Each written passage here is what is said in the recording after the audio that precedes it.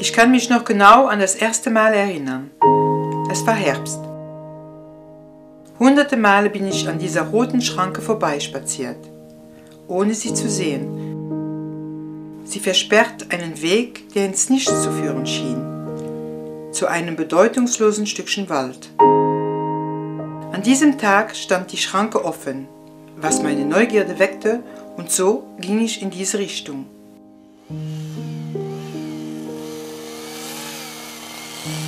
Aus der Ferne dachte ich, sie wären zu zweit.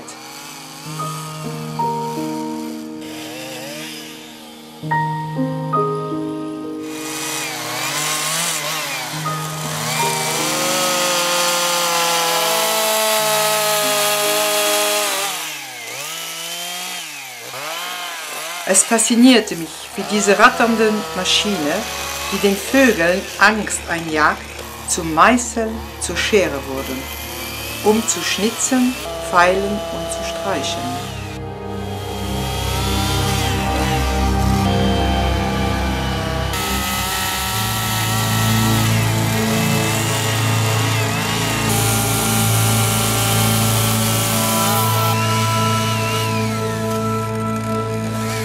Ich blieb bis zum Abend. Dies war meine erste Begegnung mit Nunu. Nuno ist Holzfäller bei der Naturverwaltung. Diesen Wald kennt er sehr gut. Er ist beauftragt, ihn zu pflegen. Er weiß genau, wie viele Jahre ein Baum benötigt, um zu wachsen. Aber nur einige Minuten genügen, um ihn in einen leblosen, ausgerenkten Hampelmann abzusägen und zu zerlegen. Ist dies vielleicht seine Art, um Vergebung zu bitten? Denn mit den gleichen Geräten Handgriffen und Leidenschaft erweckt er den Baum zu einem neuen Leben. Was geht nur vor im Kopf eines Holzfällers?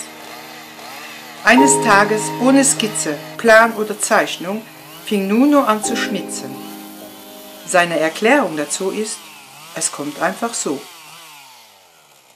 Am nächsten Tag ging ich wieder dorthin.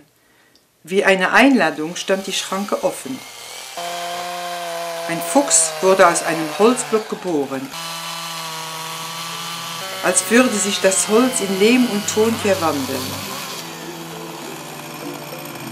Es kommt einfach so. Das Augenlicht erhellt. Es kommt einfach so.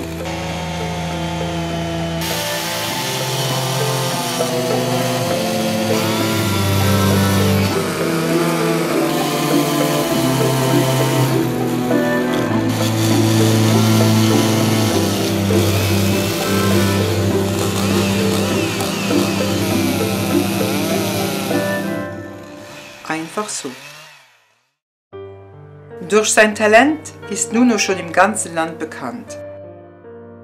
Seine Skulpturen sind Schmuck vieler Dörfer und Festlichkeiten.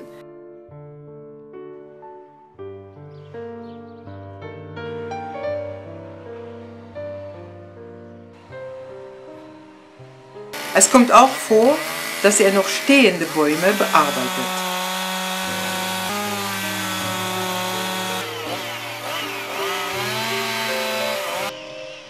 Aber ich besuche ihn viel lieber auf seiner Lichtung, in seinem Künstleratelier, dort wo Wildschweine und Rehe im Verborgenen entstehen.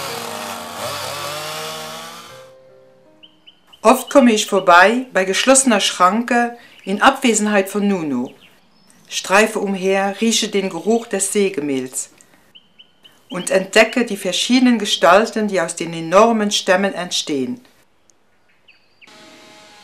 Manchmal vermeide ich die Schranke, durchquere frei den Wald, aber immer auf der Lauer nach dem Geräusch der Motorsäge, in der Hoffnung auf die Entdeckung einer neuen Skulptur.